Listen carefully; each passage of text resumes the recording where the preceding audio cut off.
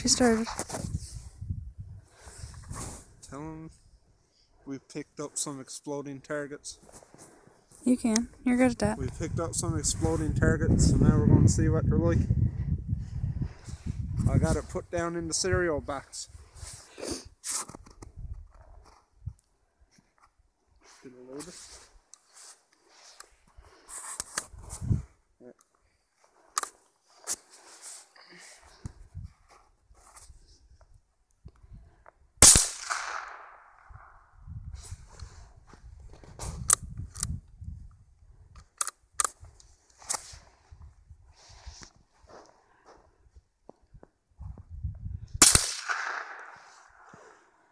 These everywhere but.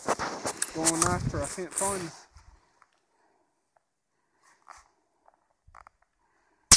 Oh, there you go. Ah, that was pretty damn cool. That was so cool. Let's see what he's like now without it in the box. Alright. I'll put my safety on.